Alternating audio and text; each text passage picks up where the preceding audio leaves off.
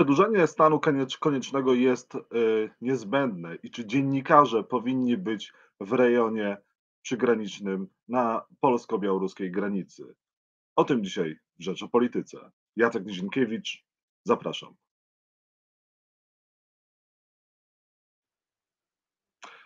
Państwa i moim gościem jest pani Janina Ochojska, europosłanka, działaczka humanitarna, założycielska, założycielka Polskiej Akcji Humanitarnej. Dzień dobry. Dzień dobry. Była pani na granicy polsko-białoruskiej. Co tam się dzieje? Znaczy, nie tyle byłam na granicy, ile dotarłam tylko do granicy stanu wyjątkowego. E, dalej mnie nie wpuszczono. Także trudno też mi powiedzieć, co się dzieje na samej granicy. E, docierają do nas jedynie te informacje, które zechcą nam przekazać Straż Graniczna czy inne służby, które tam są. E, są oczywiście aktywiści, ale oni też nie mają wstępu do samego, e, do samej tej strefy. Ale pomimo to wiemy co nieco, co dzieje się w tej strefie, ponieważ niektórzy uchodźcy zdołali przekroczyć e, granice tej strefy e, i e, tam spotkali ich aktywiści w bardzo ciężkim stanie. I z ich opowieści no, możemy wiedzieć, co się dzieje. Tak? Coraz więcej ludzi próbuje przekroczyć tę granicę, ale też powiedzmy sobie szczerze, to nie są jakieś tysiące, to są setki.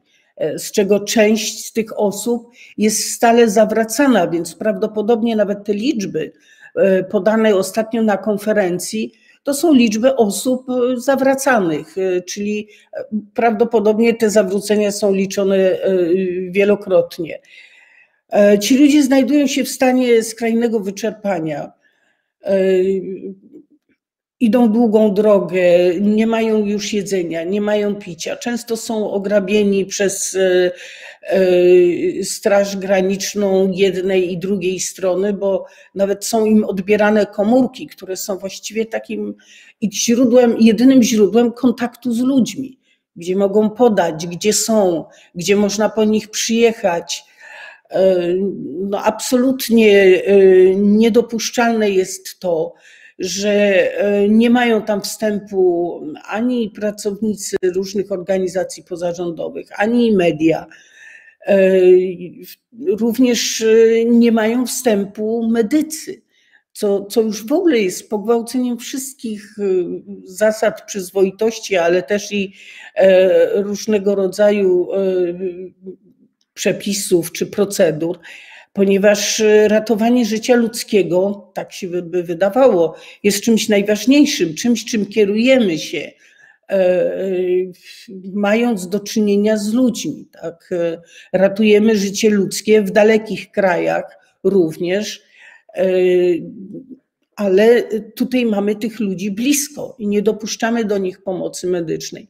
Ludzie są wywożeni do lasu, na bagna, no, ostatnio myślę, że wszystkimi też wstrząsnęła historia wywiezienia rodziny kurdyjskiej, gdzie są małe dzieci.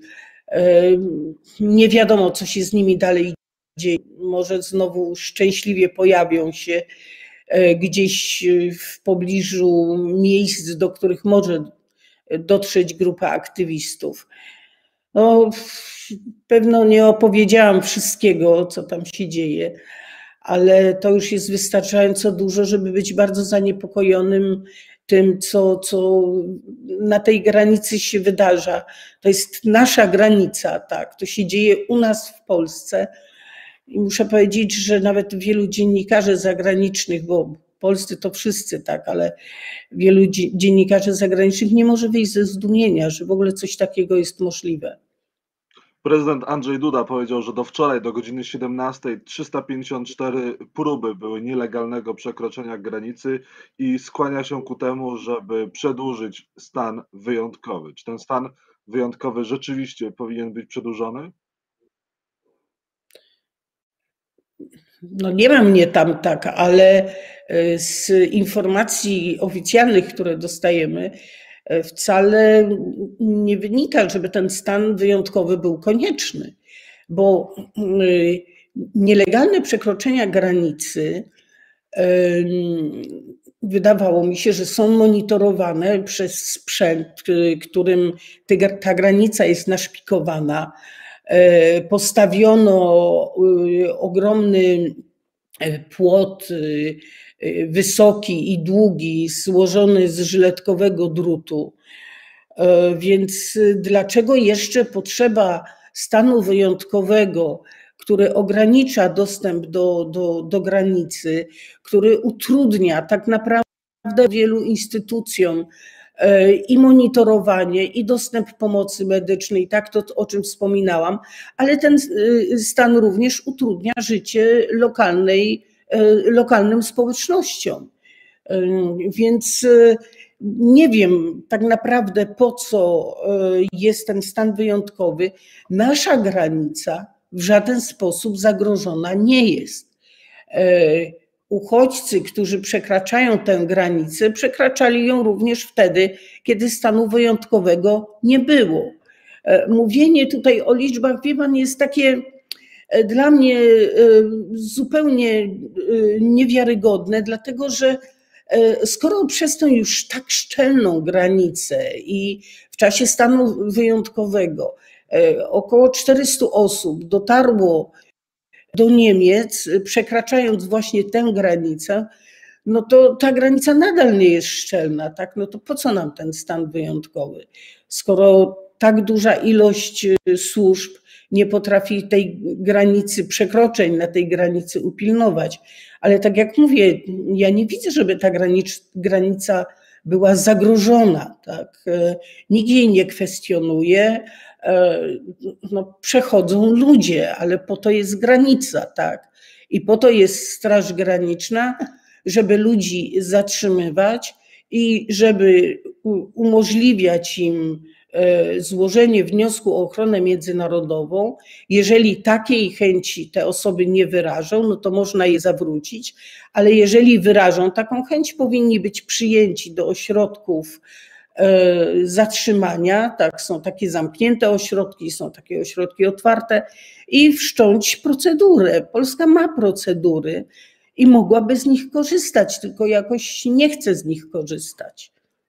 A czy stan wyjątkowy powinien być e, też e, utrzymany w połączeniu z tym, że dziennikarze nie mają tam dostępu? Rzecznik Praw Obywatelskich jest zaniepokojony tym, że media nie mogą monitorować tego, co się dzieje w tym przygranicznym rejonie. No, ten stan e, odcina zarówno dostęp do informacji, media nie mogą tam przebywać, więc nie patrzą na ręce władzy.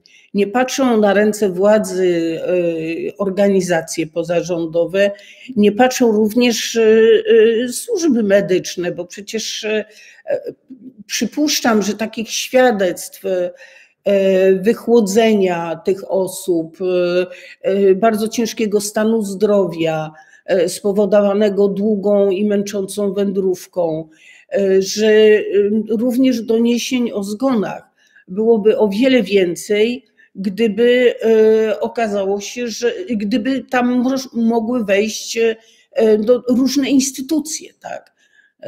Brak mediów wszyscy odczuwamy, bo jesteśmy znani tylko no, muszę to tak powiedzieć dosadnie, e, kłamstwa tych służb.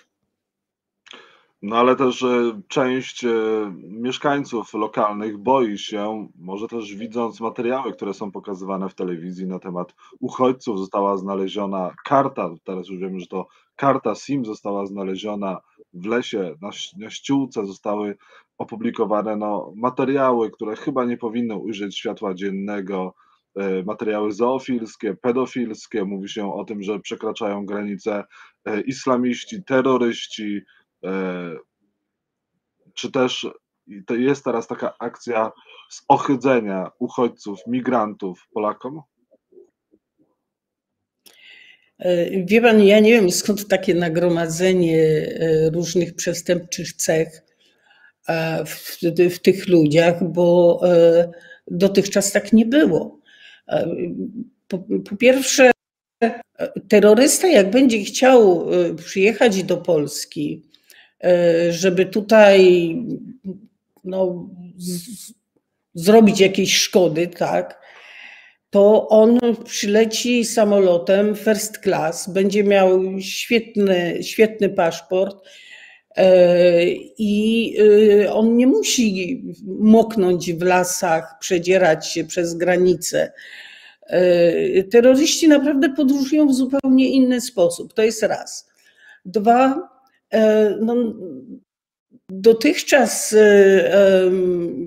czy moje spotkania z tymi osobami, które przekroczyły granicę, jak byłam w ośrodku w Kętrzynie, czy spotkania, e, które e, e, mają miejsce poprzez aktywistów. Te spotkania świadczą o tym, że w dużej mierze to są osoby wykształcone, że są to osoby, które, wie pan, zawsze ta pierwsza fala uchodźców, E, mówię zwłaszcza tych z Afganistanu. E, te pierwsze fale to są zazwyczaj ludzie wykształceni, ludzie, którzy e, mają nawet jakieś spore środki do życia, bo to są ludzie, którzy są najbardziej zaradni, tak? Oni pierwsi wyruszają w drogę. I no nie wydaje mi się, żeby tymi pierwszymi to byli nagle ci, którzy są kryminalistami, czy którzy mają jakieś e, straszliwe skłonności. E, to są po prostu zwyczajni ludzie. Część z tych ludzi jest z dziećmi. E, część rodzinę pozostawia może na, na Białorusi, może w kraju pochodzenia, po to, żeby ich później ściągnąć, bo to mężczyzn się zazwyczaj pierwszych wysyła, żeby no, zbadali, jaka, jaka jest sytuacja. Więc y, y, takie nagromadzenie y, wydaje mi się zupełnie jakieś dziwne. I niestety, ale to jest wymysł, wymysł służb, wymysł panów, który, którymi nami rządzą. Zresztą o tym też może świadczyć to, że na konferencji prasowej mówiono coś innego, czyli że te zdjęcia znaleziono w telefonie. Teraz jakąś kartę okazuje się, że znaleziono, a wcześniej jeszcze tak ktoś mówił, że, że jednak e, e, to zdjęcie już jakiś czas temu ukazało się i, i znaczy jest do znalezienia w internecie. Więc e, wie pan, ja bym naprawdę w te rewelacje nie wierzyła. Natomiast smutne jest to, że te osoby, które same skazują się na to albo mają tylko taką możliwość odbierania e, polskiej telewizji państwowej, czy rządzą, rządowej, e, że e, odbierając te informacje, no rzeczywiście boją się i wydaje im się, że tutaj grozi im straszne niebezpieczeństwo, im, ich dzieciom, zwierzętom, tak, bo skazani są tylko na te informacje. E, taka próbka e, tego, co pokazuje się e, w telewizji polskiej. Można, można było tę próbkę zobaczyć w TVN-ie. Zresztą mi się też zdarzyło zajrzeć na stronie, bo no, człowiek chce wiedzieć, co tam ta druga strona przekazuje. To, to, to jest niewiarygodne, jakimi kłamstwami są Y, obarczone te wszystkie informacje. Jest mi żal naprawdę tych wszystkich, którzy nie mają dostępu do, do, do innej telewizji, do innych mediów, albo tych, którzy się na, sami na to skazują, bo, bo to jest nie, niewiarygodne. To rzeczywiście człowiekowi może namieszać w głowie. A jeżeli te informacje, które minister Błaszczak z ministrem e, Kamińskim przekazywali na temat tych e, wynaturzeń, które, do których rzekomo mieli się dopuszczać e, migranci, których mieli się dopuszczać migranci. Jeżeli też te filmy no, nie są prawdziwe, okazuje się, że ta karta mogła należeć właściwie do każdego albo mogła zostać podrzucona. Słowem, jeżeli ministrowie mijają się z prawdą, czy oni powinni przeprosić? Oni przede wszystkim już dawno powinni poddać się do dymisji, przeprosić. Wie pan, E, no, e, między innymi za, wie pan, Znaczy, ja, ja nie wierzę w te rewelacje. Tak? Myślę, że bardzo wiele osób nie wierzy i e, niejednokrotnie przekonaliśmy się, że e, ci panowie oraz ich koledzy z rządu e, podają nieprawdziwe informacje albo posługują się nielegalnymi środkami. Te wszystkie afery, które miały miejsce przez, przez lata rządzenia, E, a te, które nami wstrząsnęły najbardziej, e, zakup respiratorów od handlarza bronią, e, maseczki, które nie miały atestu, czyli tak naprawdę narażają na utratę nawet zdrowia, nawet i życia obywateli przekazując nieprawdziwe informacje, stwarzając jakieś fałszywe wrażenia o tym, co, co dzieje się czy w naszym kraju, czy, czy, czy na granicy tego kraju e, po, po stronie białoruskiej. Więc e, pan przeprosiny niewiele dadzą, dlatego że e, nawet jeżeli ktoś powie, że się plił, tak, że, że właśnie coś zostało podrzucone, a wzięli to za dobrą, za dobrą kartę, to wiemy, że przeprosiny nie docierają do tych wszystkich, do których dociera informacja o zagrożeniach czy, czy, czy o jakichś e, e, złych uczynkach. E, przeprosiny tutaj na niewiele się zdadzą, bo tego zła już, już jest zbyt dużo, które, które się dzieje, które się stało. Kto odda życie tym osobom, które straciły życie na granicy? Y, które umarły z powodu y, wychłodzenia, wyczerpania organizmu. Y, kto odda dobre imię uchodźcom, którzy starają się dotrzeć do Polski, ponieważ ich życie w ich kraju jest zagrożone. Czy my nie wiemy, co dzieje się w Afganistanie, co dzieje się w Iraku, co dzieje się w Syrii, co dzieje się w wielu krajach, gdzie mamy do czynienia z, z konfliktami, to nie są migranci, to są uchodźcy. No ale nie wszyscy występują o azyl, to jest jedna rzecz. Druga rzecz, e, strona białoruska i, i rosyjska również bardzo rozgrywa ten e, konflikt. No, część e, właśnie osób z tamtych rejonów może być terrorystami, to też może być obcy kod kulturowy poniekąd y, dla, dla, dla Polaków, mogą się obawiać. Pytanie, czy pani, co pani uważa, co należałoby zrobić? Czy należałoby wpuścić tych wszystkich, tych, te wszystkie osoby, które są na granicy do Polski? Może nie wszystkie. Pan, to jest y, y, już rola służb, które mają metody przebadania tych osób, tak, przeszłości tych osób, mają dostęp do różnych y, dokumentów, do różnych danych, e, więc to jest rola służb, żeby zdecydować, kogo w Polsce zostawić, a kogo nie. E, po to są ośrodki zamknięte dla cudzoziemców, żeby przetrzymywać tam osoby, co do których e, przeszłej działalności, czy co do których intencji mamy wątpliwości, które mogą zagrażać bezpieczeństwu naszego kraju więc te osoby mogą być przetrzymywane w takich zamkniętych ośrodkach i y, po zbadaniu ich przeszłości i jeżeli decyzja jest negatywna, no to takie osoby są deportowane. Tak? My, my mamy naprawdę wszystkie procedury na to. E, natomiast jeżeli to są osoby, które rzeczywiście, których życie jest zagrożone, E, z powodu ich, ich działalności, czy z powodu reżimu panującego w ich kraju. Przecież my Polacy kiedyś też tak byliśmy przyjmowani. Tylko dlatego, że e, na podstawie do, dokumentów e, przedstawianych, zresztą naprawdę wtedy wystarczyło, że ktoś powie, że, powiedział, że jego życie jest zagrożone. Polacy byli przyjmowani w różnych krajach. Więc to nie jest coś, co dzieje się nagle, tak? To nie jest zjawisko, z którym mamy do czynienia nagle. Poza tym y, migranci to jest zupełnie osobna kategoria. Migranci przyjeżdżają tutaj po to, żeby e, u nas pracować, żeby zarobić pieniądze i my bardzo chętnie widzimy na naszym rynku pracy e, no, głównie Ukraińców, prawda, ale nie tylko, ponieważ są nam potrzebni, e, potrzebne są nam osoby, które sprzątają w naszych domach, opiekują się naszymi dziećmi, osobami starszymi, chorymi i tak dalej. Tych czynności, tych zawodów nie chcą już Polacy wykonywać, więc migranci są nam bardzo potrzebni. Natomiast to jest osobna kategoria uchodźcy.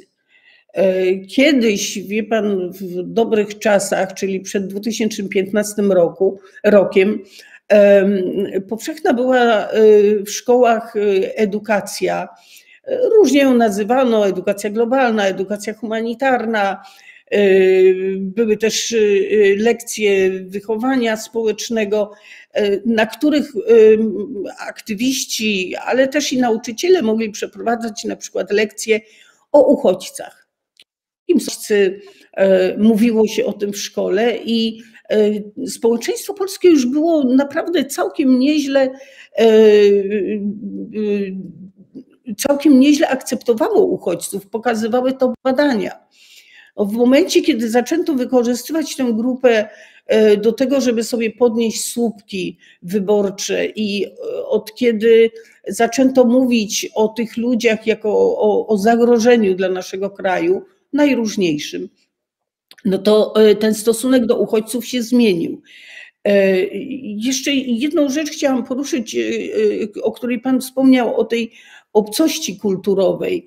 No, Dlaczego mamy się bać innych kultur i innych religii? Przecież to jest tak naprawdę bogactwo, prawda? Czy my boimy się chodzić do hinduskich y, czy nawet afgańskich y, y, knajpek, restauracji? Są knajpki w całej Polsce, które prowadzą cudzoziemcy z różnych krajów i nie obawiamy się tam chodzić na, na posiłki. Więc to pokazuje, że takie bogactwo kulturowe może być czymś bardzo pozytywnym, a mówienie o tym, że oni wykorzenią naszą religię, no jeśli e, nie wiem, nawet tysiąc muzułmanów mogłoby e, wykorzenić naszą religię, to znaczy, że jest ona bardzo słaba, tak? I że nasza tożsamość chrześcijańska jest bardzo słaba. Więc nie wiem, czego my się obawiamy. Janina Ochojska, działaczka humanitarna, europosłanka, była Państwa i moim gościem. Dziękuję za rozmowę. Dziękuję Panu.